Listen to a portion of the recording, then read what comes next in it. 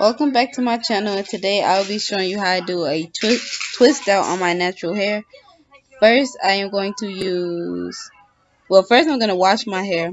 Then once I'm done I'm going to spray it with coconut oil and water in a spray bottle. Um, just uh, to moisturize my hair.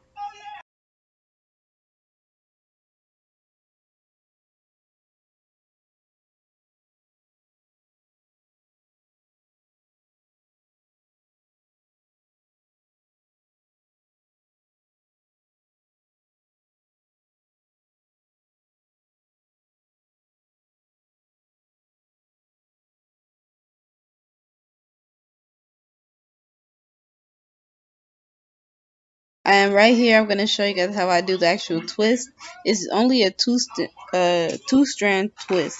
And I use uh, my conditioner from Mane and Tail, uh, the same brand as the shampoo.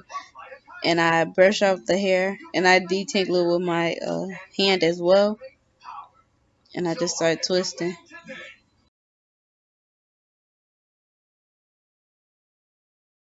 And basically, that's all I do to get the twist. And at the end, I'm going to show you guys uh, pictures of how it turned out.